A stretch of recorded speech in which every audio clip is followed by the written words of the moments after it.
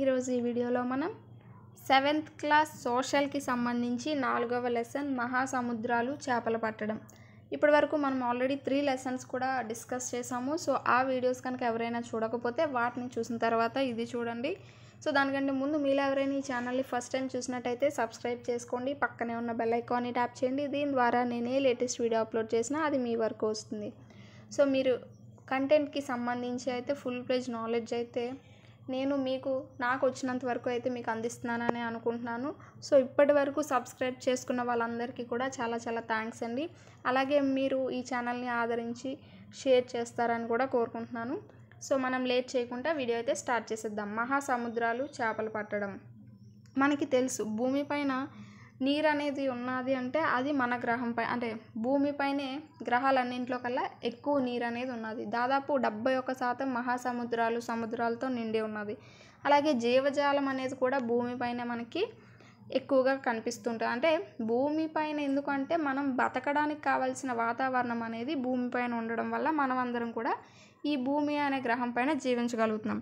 So ఈ భూమి అనేది ఎలా ఏర్పడింది? కొన్ని కోట్ల సంవత్సరాల క్రితం అది ఒక మండుతున్న అగ్నిగోళంలో ఏర్పడి అది చల్లారుతూ ఎన్నో పర్వతాలు అగ్ని పర్వతాలు అలాగే మైదానాలు ఇవి వీటన్నింటితో కూడా రూపాంతరం చెందుతూ చెందుతూ సముద్రాలు ఇవన్నీ ఏర్పడుతూ మనకు వచ్చాయి సో మనకి భూమిపైన ఈ భూమి ఎలా ఉన్నదనుకోండి ఎలా అయితే పర్వతాలు మైదానాలు ఇవన్నీ మనకి ఉంటున్నాయో సో సముద్రాలు కూడా మనకి సముద్రాలు కూడా అంతే ప్లేస్ని అంటే భూమిపైన చాలా ఎక్కువ ప్లేస్ని ఆవరించి ఉన్నాయి.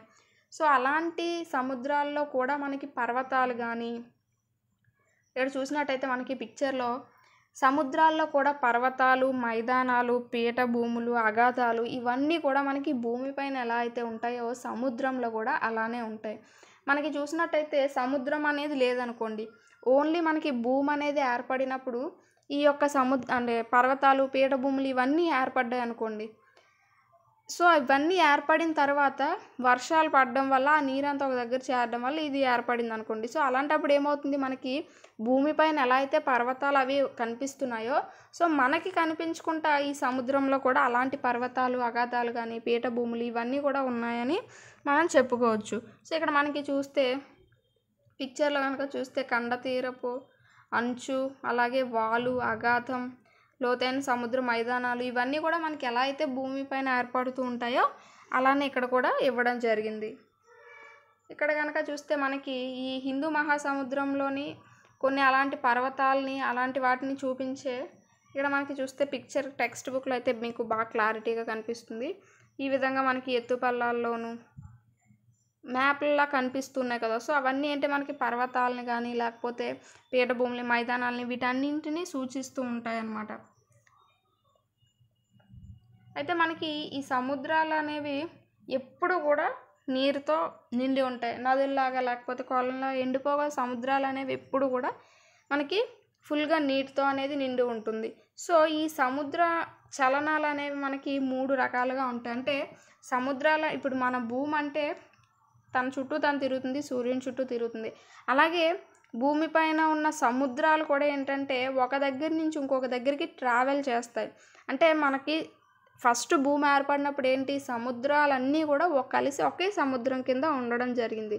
సో మన సౌలభ్యం కోసం ఖండాలు అనేవి ఏర్పడిన తర్వాత సముద్రాలని కూడా వేరువేరుగా విభజించుకోవడం జరుగుతుంది.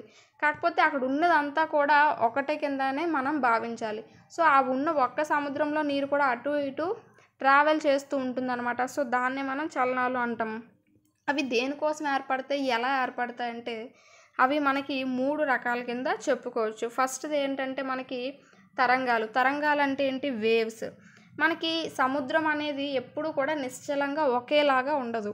అయితే రైజ్ అవుతూ ఉంటుంది లేదంటే స్లో అవుతూ ఉంటుంది. అయితే దేనివల్ల అంటే సముద్రం పైన మన సపోజ్ మీరు ఒక గ్లాస్ తీసుకొని గ్లాస్లో వాటర్ తీసుకొని అందులో కనుక నెమ్మదిగా ఊదినట్టయితే నెమ్మదిగా ఆ వాటర్ అనేది కొంచెం కదులుతూ ఉంటుంది. లేదు గట్టిగా కనుక ఊదారనుకోండి అది కొంచెం గట్ అంటే ఫాస్ట్గా బయటికి తన్నడమో లేకపోతే ఫాస్ట్గా కదలడమో జరుగుతూ ఉంటుంది కదా. సో సముద్రాలు కూడా అలాగే. దానిపైన గాలి అనేది వీచేటప్పుడు గాలి అనేది నెమ్మదిగా కనుక వీస్తే ఆ తరంగాలు అనేవి నెమ్మదిగా ఏర్పడతాయి. లేదు గాలులు అనేవి చాలా ఫాస్ట్గా వచ్చాయి అనుకోండి ఆ యొక్క తరంగాలు కూడా చాలా పెద్దవిగా వస్తూ ఉంటాయి. అవి మనకి ఫస్ట్ అయితే సెకండ్ ప్రవాహాలు. ప్రవాహాలు అంటే ఏంటంటే సముద్రంలో ఉన్న వాటర్ అనేది ఒక ఒక ప్లేస్ నుంచి ఇంకొక ప్లేస్కి అలా పెద్ద పెద్ద ప్రవాహాల కింద ప్రయాణిస్తూ ఉంటుందన్నమాట. సో ఒక దిక్కు నుంచి ఇంకొక దిక్కు కానీ ఒక ఉపరితలం నుంచి ఇంకొక ఉపరితలానికి అలా ప్రవహిస్తూ ఉంటుంది. ఈ సముద్ర ప్రవాహాలు అనేవి మనకి రకరకాలుగా ఉంటాయి. అంటే ఉష్ణ ప్రవాహాలు శీతల ప్రవాహాలు అని ఉంటూ ఉంటాయి. ఉష్ణ ప్రవాహాలు అంటే ఏంటంటే మనకి భూమి ఏదైతే ఉన్నదో ఇది మనకి భూమధ్య రేఖ అనుకుంటే ఇవి మనకి ధ్రువాల కింద చెప్పుకుంటే ఉష్ణ ప్రవాహాలు అనేవి ఈ భూమధ్య రేఖ నుంచి ధ్రువాల వైపు కదులుతూ ఉంటాయి. అర్థమైంది కదా? ఉష్ణ ప్రవాహాలు అనేవి ఈ భూమధ్య రేఖ ప్రాంతం నుంచి మనకి ధ్రువాల వైపు కదులుతూ ఉంటాయి. శీతల ప్రవాహాలు ఏం ఏమవుతాయంటే ధ్రువాల నుంచి భూమధ్య రేఖ వైపు కదులుతూ ఉంటాయి. ఇవి మనకి శీతల ప్రవాహాలు ఉష్ణ ప్రవాహాలు ఈ ప్రవాహాల గురించి మనకి హయ్యర్ క్లాసెస్లో అయితే ఇంకా డీప్గా ఉంటుంది. అప్పుడు మనం చెప్పుకోవచ్చు. అయితే ఈ సముద్ర ప్రవాహాలు అనేవి ప్రధానంగా వేటి వల్ల ఏర్పడతాయంటే ప్రపంచ పవనాల వల్ల అంటే ఋతుపవనాల వల్ల కానీ ఇలా ప్రపంచ పవనాల వల్ల ఈ సముద్ర జలం యొక్క ఉష్ణోగ్రత. మనకి ఏదైతే భూమధ్య రేఖ ప్రాంతం అనేది ఉన్నదో అక్కడ ఉష్ణోగ్రత అక్కడ సముద్రాల యొక్క ఉష్ణోగ్రత అనేది ఎక్కువగా ఉంటుంది. సో దానివల్ల కూడా మనకి ఈ ప్రవాహాలు అనేవి అటు ఇటు వెళ్తూ ఉంటాయి. అలాగే లవణీయత లవణీయత అంటే మనకు తెలుసు కదా ఈ ఏదైతే సాల్ట్నెస్ ఉంటుందో దాంట్లో అదనమాట. ఉప్పదనం ఏదైతే ఉంటుందో దానివల్ల కూడా మనకి ఈ యొక్క ప్రవాహాలు అనేవి ఏర్పడుతూ ఉంటాయి. దాని తర్వాత మూడోది ఏంటంటే మనకి పాటుపోటు ఇది మనకు అందరికీ తెలిసిందే మ్యాక్సిమం టైడ్స్ అంటారు ఇంగ్లీష్లో. అయితే ఇది ఏంటంటే మనకి సముద్రంలో చాలా వరకు చూస్తే ఒక్కొక్కసారి సముద్రం చాలా ముందు వరకు వస్తూ ఉంటుంది. అంటే చాలా దగ్గరికి వస్తూ ఉంటుంది. ఒక్కొక్కసారి కొంచెం వెనక్కి వెళ్ళిపోతూ ఉంటుంది. దీన్ని ఏమంటారంటే పాటుపోట్లు అంటారు. అంటే సముద్రం యొక్క నీటి మట్టం అనేది పెరగడాన్ని తగ్గడాన్ని పాటుపోట్లు అంటారు. ఈ సముద్రంలోని ఏవైతే సముద్ర తీరాలు అనేవి ఉంటాయో సముద్రాల ప్రాంతాలు అనేవి ఉంటాయో అక్కడ కొన్ని గంటల పాటు ఎక్కువగా పోటెత్తుతూ ఉంటుంది అనమాట అంటే ఎక్కువగా రైజ్ అవుతూ ఉంటుంది సముద్రం అనేది. అలలు అనేవి తీవ్రంగా వస్తూ ఉంటాయి. కొంతసేపు తర్వాత మనకి తక్కువగా స్లోగా ఉండడం అనేది జరుగుతుంది. అయితే దీన్నే ఎక్కువగా మనం సం మనం మామూలుగా మాట్లాడుకున్న మామూలు వాడుక భాషలో కూడా సముద్రం బాగా పోటెత్తుతుంది అంటారు. పోటెత్తడం అంటే ముందుకు రావడం. దాన్నే మనం ఏమంటామంటే పర్వవేళ తరంగాలను కూడా చెప్పుకుంటూ ఉంటాం. పాటు పాటులన్ సారీ పాటు అంటే ఏంటంటే తగ్గడం అనమాట లయబద్ధంగా నీటి మట్టాన్ని తగ్గడాన్ని పాటు అంటారు. దాన్ని మనం లఘువేళ తరంగాలు అనేవి కూడా అని చెప్పుకుంటూ ఉంటాం అనమాట ఇది పాటుపోట్లు అనేవి మనకి దేనికో ఎక్కువగా ఉపయోగపడతాయంటే చేపలు. చేపలు పట్టడానికి ఎక్కువగా ఇవి ఉపయోగపడుతూ ఉంటాయంట. దాని తర్వాత ఇది మనకి మహాసముద్రాల గురించి. అయితే దాని తర్వాత ఇప్పుడు మనకి సెకండ్ పార్ట్లో ఏంటంటే ఈ సముద్ర ప్రాంతంలో ఈ సముద్ర తీర ప్రాంతంలో ఒక పట్టణం అనేది అంటే ఒక గ్రామం అనేది తీసుకున్నారు. అక్కడ ప్రజల జీవన విధానం అనేది ఎలా ఉంటుంది అనేది ఇక్కడ ఈ అంటే ఈ ఈ సెకండ్ పార్ట్లో అయితే మనం చూద్దాం. తీర మైదానంలో మత్స్యకారుల గ్రామం. మనకి సముద్రాలు అనగానే ఏంటి? చాలా వరకు జల సంపద అనేది ఎక్కువగా లభిస్తూ ఉంటుంది. సముద్రాల ద్వారా చాలా అంటే మామూలుగా మనకి చాలా వనరులు అనేవి లభిస్తూ ఉంటాయి. మత్స్య సంపద కానీ లేకపోతే లవణాలు కానీ ముఖ్య వనరుల కింద ఉంటాయి. అలాగే సముద్రాలు అనేవి అంతర్జాతీయ వాణిజ్యానికి తక్కువ ఖర్చుతో కూడుకున్న వాణిజ్యానికి ఎక్కువగా ఉపయోగపడుతూ ఉంటాయి. మన ఆంధ్రప్రదేశ్ కనుక చూసుకుంటే చాలా తీర ప్రాంతం అనేది చాలా ఎక్కువగా ఉంటుంది. సో ఆ తీర ప్రాంతంలో ఒక గ్రామం భావనపాడు అనే గ్రామం గురించి వాళ్ళ యొక్క జీవన విధానం గురించి ఇక్కడ మనం చూడ చూద్దాము. అక్కడ ప్రజలు ఏంటంటే ఎక్కడైనా సరే తీర ప్రాంతంలో ఉన్న ప్రజలు ఎవరైనా సరే అక్కడ చేపలు సముద్రంలో చేపలు పట్టడం ద్వారానే వారి జీవనం మ్యాక్సిమం గడుపుతూ ఉంటారు. సో ఇక్కడ కూడా అంతే. వీళ్ళు ఏం చేస్తారంటే తెల్లవారు ఐదు జ అంటే ఐదు గంటలకు లేచి వేటకు అనేది వెళ్తారంట. సో సముద్రం నదిలో లేకపోతే చిన్న కొలనుకో వెళ్ళినట్టు ఒకరు ఇద్దరు వెళ్ళరు కదండి. వేటకు వెళ్తున్నారంటే అక్కడ ఎక్కువ చాలా ఎక్కువ పని ఉంటుంది. ఎక్కువ మంది అవసరం కూడా ఉంటుంది కాబట్టి ఒక ఇరవై మంది ఇలా వెళ్తారంట. సో ఆ ఇరవై మంది కూడా ఏంటంటే కూలీకి వెళ్ళినట్టే. ఎవరి దగ్గర సొంత పడవలు కొనుక్కోవడానికి అంత ఖర్చు అంటే అంత భరించే ఖర్చు అనేది ఎవరి దగ్గర ఉండదు. ఎవరైనా ఒకరు ఎవరైనా అంటే ఎవరైనా ఒక వ్యక్తి అనేది మరపడవల ద్వారా మరపడవ కొనుక్కొని అతని దగ్గర పనిచేస్తూ ఉంటారనమాట ఈ మిగతా వాళ్ళందరూ. సో ఆ విధంగా ఒక అతని దగ్గర ఈ ఇరవై మంది పని చేసుకుంటూ వేటకు అనేది వెళ్ళడం జరుగుతుంది. వీరు వేటకు వెళ్ళే ముందే అక్కడ ఇంజిన్ అది కరెక్ట్గా ఉందా లేదా డీజిల్ ఎక్స్ట్రా డీజిల్ అనేది అవసరం అవుతుంది. ఎందుకంటే సముద్రం మధ్యలోకి వెళ్ళిపోయాక ఓడ అనేది ఆగిపోతే ఏం చేస్తారు? ఏం చేయలేరు కదా. సో అందుకని ముందుగా డీజిల్ కానీ అన్నీ సిద్ధం చేసుకుంటూ ఉంటారంట. సో వేట పైన అదే ఈ చేపలు పట్టడం పైన ఆధారపడిన వాళ్ళందరూ కూడా ఎక్కువగా దేవుణ్ణి విశ్వసిస్తూ ఉంటారు. గంగమ్మని విశ్వసిస్తూ ఉంటారు. ఎందుకు అంటే వారికి అదే కాబట్టి జీవన విధానం అంటే జీవన పరిస్థితులు అనేవి వాళ్ళకి అదే. వారు దానిపైనే జీవనం అనేది గడుపుతూ ఉంటున్నారు కాబట్టి ఆమెను ఆరాధించి వేటకు అనేది వెళ్తూ ఉంటారంట. సో ఇక్కడ మనకి ఒక వ్యక్తి ఒక వ్యక్తి అనే అతను మరపాడవని కొన్నారు. ఎక్కడ అంటే ఒడిస్సాలోని మార్కొండ మార్కొండలో కొన్నారంట. ఈ యొక్క మరపడవలు దాదాపు ఎంత ఖర్చు ఉంటుందంటే ఒక ఆరు లక్షల వరకు ఖర్చు అనేది ఉంటుంది. సో ఆ ఆరు లక్షలు భరించే భరించడానికి అతని దగ్గర డబ్బు లేదు సో అది కూడా ఒక వ్యాపారి దగ్గర నుంచి తెచ్చి ఆ యొక్క పడవని నడుపుతూ ఉంటున్నారంట. రోజు రోజువారీ రోజు వేటకు వెళ్తూ ఉంటారు. సో రోజు చాలా ఖర్చు అనేది అవుతుంది. డీజిల్కి కానీ ఇతర ఇతర ఖర్చులు అనేవి వేటకు వెళ్ళిన ప్రతిసారి కూడా ఒక ఐదు వేల రూపాయలు ఖర్చు అనేది అవుతుందంట. అది కూడా ఏంటంటే వాళ్ళు భరించే స్థితిలో ఉండలేక ఉండరు. సో అది ఎక్కడి నుంచి తెస్తారు అంటే మధ్యవర్తులు ఉంటారు కదా.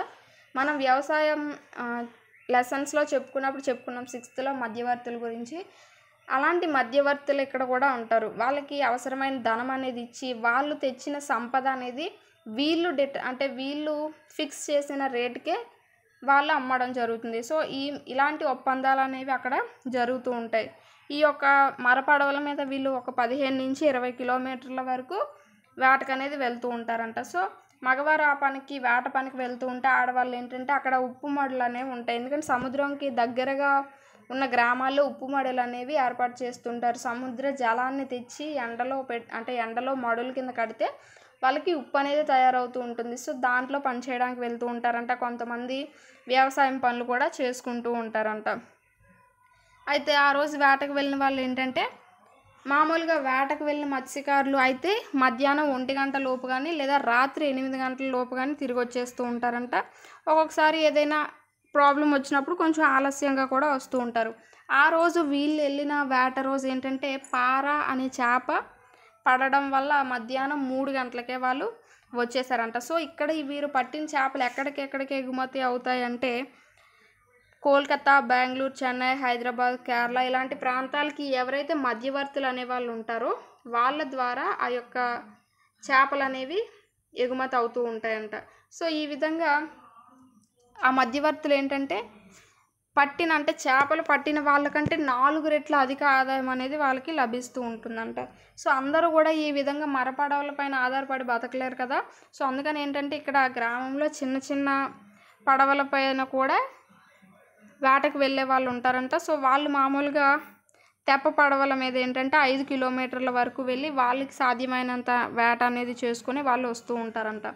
అక్కడ వాళ్ళు తెచ్చినవి ఏంటంటే వాళ్ళు తెచ్చిన చేపలు వాళ్ళ భార్యలు ఆడవాళ్ళు ఉంటారు కదా సో వాళ్ళు నౌపాడ టెక్కలి పూండి పలాస ఈ యొక్క ప్లేసెస్లో అమ్ముతూ ఉంటారంట. వాళ్ళని ఏమంటామంటే బేరకత్తెలు అంటూ ఉంటారంట.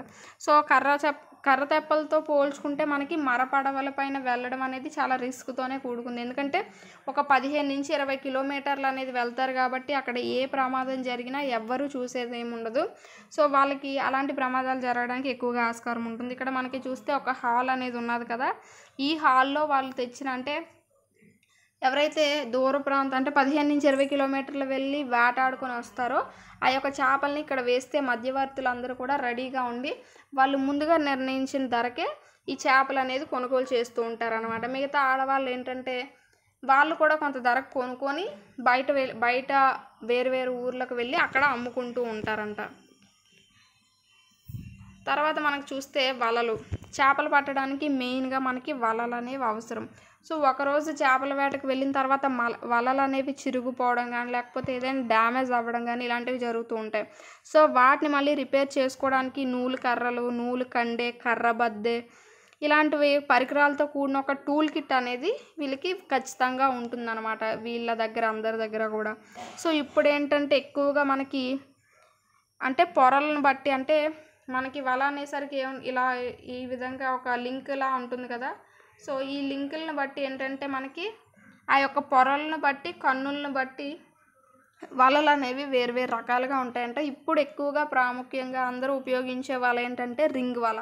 సో ఇది చేపల వేటకి ఇప్పుడు ప్రస్తుతం ఎక్కువగా ఉపయోగిస్తూ ఉంటున్నారంట.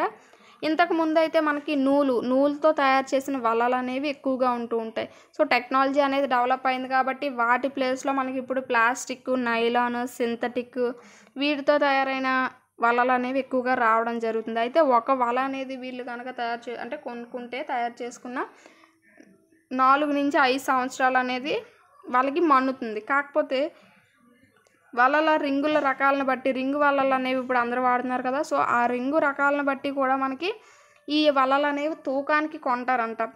కిలో వల ఎంత? రెండు వందల యాభై నుంచి మూడు వందల రూపాయలు అయితే ఉంటుందంట. మామూలు వల అయితే. అదే రింగు వల అయితే ఐదు వందల రూపాయలు కూడా ఉంటుందంట. ఆ వలని వాళ్ళు ఎక్కడ కొనుక్కుంటారు అంటే ఒడిశాలోని బరంపూర్. అదే మరపడవలనైతే అయితే ఒడిశాలోని మార్కొండాలో కొంటారు. ఈ యొక్క వలలను అయితే ఒడిశాలోని బరంపూర్లో కొంటూ ఉంటారంట. ఇక్కడ చూసారా? స్థా అంటే స్థానికంగా ఎవరైతే టెక్కలి పూండి పలాస నౌపాడ వీళ్ళు అమ్ముకుంటూ ఉంటారో ఆ బేరకత్తలందరూ కూడా వేట నుంచి వచ్చే చేపల కోసం ఈ విధంగా వెయిట్ చేస్తూ ఉంటారంట. అలాగే ఇక్కడ చూస్తే మనకి ఇంకో రింగ్ వలలు అనేవి ఇచ్చాడు. సో ఇక్కడ ఏదైతే డ్యామేజ్ ఈ విధంగా డ్యామేజ్ అయిపోయిన వలలు అనేవి ఉంటాయో వాటిని ఈ యొక్క సూదులు అనేవి యూజ్ చేసి కడుతూ ఉంటారు. ఇక్కడ మనకి చూస్తే ఇది మనకి రింగ్ వాళ్ళకి అంటే ప్లాస్టిక్ బెండ్లు. ఇంతకు ముందైతే అయితే మనకి ఈ ప్లాస్టిక్ ప్లేస్లో ఈ యొక్క సీసం సీసం బెండ్లు అనేవి ఉండేవి. కాకపోతే ఇప్పుడు వాటి ప్లేస్లో మనకి ప్లాస్టిక్ బెండ్లు అనేవి రావడం జరిగింది. అయితే ఇక్కడ ప్రజలు కేవలం మామూలుగా పశు అదే సారీ చేపల వేటపైనే కాకుండా పశుపోషణ వ్యవసాయం ద్వారా కూడా బతుకుతున్నారంట చాలామంది. సో పశు అంటే పశుపోషణ కానీ లేకపోతే పక్షుల్ని పెంచడం ద్వారా కానీ లేదంటే వ్యవసాయం చేయడం ద్వారా ఈ గ్రామంలో కనుక చూసుకుంటే పెద్దగా భూస్వాములు అనేవారు ఎవరు లేరు. కాకపోతే ఇక్కడ మన్ను అనేది బంక మన్ను కాబట్టి వరి అనేది ఎక్కువగా పండుతా పండడానికి అవకాశం ఉంటుంది. అయితే వంశధార నది ఏదైతే ఉందో దాని చివరి వైపు ఈ బావనపాడు అనే గ్రామం ఉంది. సో ఆ గ్రామానికి సమీపంలో మర్రిపాడు అనే గ్రామానికి ఈ యొక్క నది యొక్క నీటి అవసరాలు తీరాక దీని వరకు రావాలి. సో అంతవరకు నీరు అనేది రాదు కాబట్టి అక్కడ భావనపాడులో వ్యవసాయం అంతా కూడా మ్యాక్సిమం వర్షాధారమే వర్షం పైన ఆధారపడే చేస్తూ ఉంటారు. అక్కడ అందరూ కూడా చిన్న చిన్న రైతులే. అంత పెద్ద భూస్వాములు ఎవరూ లేరు. అలాగే అక్కడ వాణిజ్య పంటలు అనేవి పండించరు. మ్యాక్సిమం వర్షం పైన ఆధారపడి వరి అనేది పండిస్తూ ఉంటారు. సో ఆ వరి కూడా పండితే వాళ్ళ ఆహారాల అంటే అవసరాలు అనేవి తీర్చగలిగితే తీరుస్తుంది. ఒకవేళ లేదంటే తెల్ల రేషన్ కార్డు పైన వాళ్ళు ఎవరైతే రేషన్ అనేది ఇస్తారో వాళ్ళ దగ్గర నుంచి రేషన్ కూడా తెచ్చుకొని జీవనం అనేది సాగిస్తూ ఉంటారు. అయితే ఈ గ్రామంలో ఎక్కువగా ఉన్న సమస్య ఏంటంటే లవణీయత. లవణీయత అనేది ఎక్కువగా ఉంటుంది. ఏవైనా మ్యాక్సిమం సముద్ర తీరాలు కనుక మనం చూసుకుంటే అక్కడ ఉండే గ్రామాల్లో ఎక్కువగా అంటే వాటర్ అనేది వేగంగానే పడుతుంది. తక్కువ లోతులోనే పడుతుంది. కానీ ఉప్పు నీరు అనేది ఎక్కువగా పడుతుంది. మంచినీరు అనేది మ్యాక్సిమం ఇక్కడ పడడానికి అవకాశం అయితే ఉండదు. ఇక్కడికి మంచినీరు మన మరి ఎలా వస్తుంది అంటే సూర్యమణిపురం అనే ఒక గ్రామం ఉన్నదంటే. అక్కడి నుంచి పైపుల ద్వారా ఈ గ్రామానికి మంచినీరు అనేది వస్తూ ఉండేది. ఇంతకు ముందు అయితే మామూలుగా ఒక ఎనిమిది నుంచి పది అడుగుల లోతు తవ్వితే కనుక మంచినీరు అనేది వచ్చేది. కాకపోతే ఎండాకాలం వస్తే అవి ఎండిపోవడం లేకపోతే ఒక బిందు నీళ్ళ కోసం చాలా దూరం ఒక రెండు కిలోమీటర్లు ఇలా నడిచి వెళ్ళి తెచ్చుకోవడం ఇలాంటివి ఇబ్బందులు అనేవి ఎదుర్కొంటూ ఉండేవారంట. కాకపోతే సూర్యమణిపురం నుంచి వీళ్ళకి ఎప్పుడైతే నీళ్ళు అనేవి వచ్చాయో అక్కడి నుంచి తెచ్చు అంటే అక్కడి నుంచి పైప్స్ ద్వారా వీళ్ళకి సరఫరా అనేది అయ్యేదంట. ఆ తర్వాత ఇంకా ఆ యొక్క మోటార్స్ పోవడం లేకపోతే పైప్ లైన్స్ ఏమైనా రిపేర్ రావడం ఇలాంటి ఇబ్బందుల వల్ల అది కూడా ఆగిపోవడం జరిగింది. అయితే ఈ వీళ్ళ యొక్క సామాజిక జీవనం అంటే అందరూ కలిపి జరుపుకునే పండుగలు అలాంటివి ఏమైనా ఉన్నాయి అనుకుంటే? ఇక్కడ ఎక్కువగా గంగమ్మ తల్లిని అలాగే గౌరీ గౌరీని శివుణ్ణి పూజిస్తూ ఉంటారంట. ఎక్కువగా వాళ్ళకి అన్నం పెట్టేవి ఏంటి అంటే వాళ్ళు వృత్తిగా భావించేవేంటి? వలలు పడవలు కదా. సో వాటికి ఎక్కువగా పూజలు అనేవి చేస్తూ ఉంటారు. వీళ్ళు ముఖ్యంగా జరుపుకునే పండగ ఏమి అంటే గౌరీ పూర్ణిమ. సో మనకి ఏమి భావనపాడు గ్రామ ప్రజలు ముఖ్యంగా జరుపుకునే పండగ ఏది అంటే మనకి గౌరీ పౌర్ణిమ. సో దీన్ని ఈ పండగ సందర్భంగా అందరూ కూడా నాటికలు కానీ బుర్రకథలు కానీ హరికథలు ఇలాంటివన్నీ పెట్టుకుంటూ ఉంటారు. సో దానికి ఖర్చు అయిన వ్యయం అంటే డబ్బంతా కూడా పిల్లాస్ పిల్లాస్ అని పిలిచే ఒక కుల పెద్ద. అంటే ఎవరైతే ఈ జాలర్లు అనే వాళ్ళు ఉంటారో వాళ్ళని వాళ్ళకి కుల పెద్దగా ఉండే అతన్ని ఏమంటారంటే పిల్లాస్ అని అంటారంట. సో అతను దగ్గరుండి అన్ని ఆచార వ్యవహారాలు అవన్నీ కూడా చూసుకొని ఎవరికి ఏ సమస్య వచ్చినా వాటిని పరిష్కరిస్తూ గ్రామానికి ఒక సాధారణ నిధి అనేది ఉంటుంది కదా. సో దాని నుంచి ఏమైనా ఇలాంటి కార్యక్రమాలు అవి అయినప్పుడు దాని నుంచి ఖర్చు చేస్తూ ఉంటారనమాట సో ఇది మనకి భావనపాడు అనే ఒక సముద్ర తీర ప్రాంతం గురించి మనకి ఇవ్వడం జరిగింది. సో ఇవి అంటే ఈ లెసన్ అయితే మీకు అర్థమైందని అనుకుంటున్నాను. నేను టైం అనేది ఎక్కువైనా నేను పదే పదే చెప్తూనే ఉంటాను. ఎందుకు లెసన్ వైజ్ ఎక్స్ప్లెయిన్ చేస్తున్నామంటే మనం చదువుకునే దానికి ఎవరైనా మనకి చెప్పేదానికి చాలా తేడా అనేది ఉంటుంది. సో మనం చదువుకుంటే ఓన్లీ అలా వెళ్ళి అంటే చదువుకుంటూ వెళ్ళిపోతాం ఓకే? ఎవరైనా మనకి చెప్తే కొంచెం ఇంట్రెస్ట్గా వినాలనిపిస్తుంది కదా? సో దాంతో పాటు మనం ముందు కంటెంట్ అనేది ముందు బుర్రకు ఎక్కించుకుంటే ఆటోమేటిక్గా బిట్ అనేది మనం ఆన్సర్ చేయగలం. లేదు కంటెంట్ లేకుండా ఓన్లీ బిట్స్ అనేవి ఇప్పుడు భావనపాడులో గౌరీ పౌర్ణమ అనేది ముఖ్య పండుగ అని చదువుకుంటూ వెళ్ళిపోయాం అనుకోండి అసలు భావనపాడు ఎక్కడ ఉంది ఏంటి అక్కడ? ఏంటి అనేది గందరగోళంగా ఉంటుంది. సో అలా కాకుండా ఎప్పుడు కూడా కంటెంట్ అనేది మ్యాక్సిమం బాగా అర్థం చేసుకోండి. అది ఏదైనా సరే చిన్న లెసన్ అయినా పెద్ద లెసన్ అయినా చిన్న క్లాస్ అయినా పెద్ద క్లాస్ అయినా ఏదైనా కూడా. సో దాని తర్వాత మనకి బిట్ అనేది ఆటోమేటిక్గా వస్తుంది. సో ఇది ఇవాళ మన లెసన్ ఈ వీడియో కనుక మీకు నచ్చినట్టయితే లైక్ చేయండి షేర్ చేయండి సబ్స్క్రైబ్ చేయండి. ఇలాంటి వీడియోస్ అనేవి ఎవరికైనా యూజ్ అవుతుంది. కాంపిటేటివ్ కానీ డిఎస్సికి కానీ ఎవరికైనా ప్రిపేర్ అయ్యే వాళ్ళకి మీ ఫ్రెండ్స్ కానీ ఎవరైనా ఉంటే వాళ్ళకి యూజ్ అవుతుంది అనుకుంటే మాత్రం ఖచ్చితంగా షేర్ చేయండి. ఈ ఛానల్లో మనం థర్డ్ టు టెన్త్ కంటెంట్ అయితే మ్యాక్సిమం డిఎస్సి వచ్చేలోపు ఖచ్చితంగా చెప్పుకోవడానికి అయితే ట్రై చేద్దాం. వీటికి సంబంధించిన బిట్ బిట్స్ అనేవి నేను ఇంకొక లెసన్ ఫైవ్ లెసన్స్ అనేవి కంప్లీట్ అయ్యాక వీటికి సంబంధించిన అన్ని బిట్స్ కూడా ఒక వీడియో కింద అయితే నేను చేస్తాను.